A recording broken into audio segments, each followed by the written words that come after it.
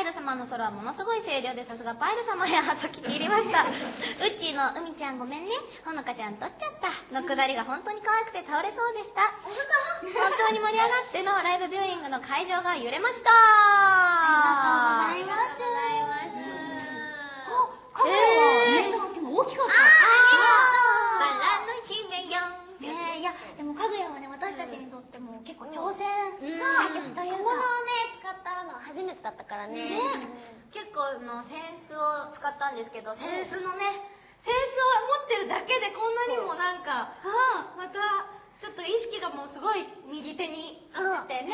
リピとかはもう左利きなのに右を使ってたりしたから。そうあれはね難しかったけど楽しかったよね。うん。楽しかセンスめっちゃ壊しててでったね10個ぐらい壊してたでなんか6個ぐらいで67個だよ壊したのなんか結構みんな勢いよくパキパキ踊るやつだったんであの戦争を結構壊しちゃったんですけど。本番用のやつを最初から使って壊れちゃったら大変だねって言って、私100均の戦争を使ってたんですよ、うん。100円のね。で勢いよく「バラの姫バッバシャーン!」みたいなね。バラバラみたいなねでなんかちょっと最終的にちょっと言わないでくださいよ一回の練習で3つ壊したとか自分でやってるな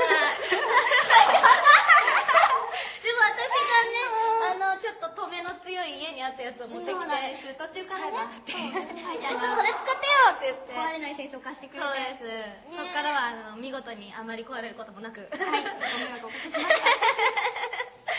あとはは衣装もすごく可愛い衣装で、あれねまた着たいね。いだってあれ一曲のためだけにねあのこのゴージャスなねそうなんですよ。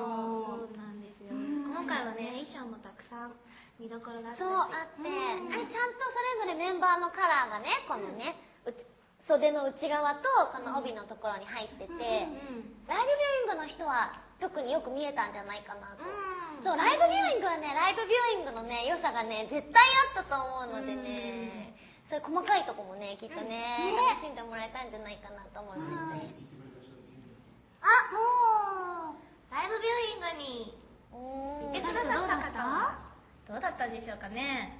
ねみんな。そうでもねそうなんかね鹿ちゃんのママからね。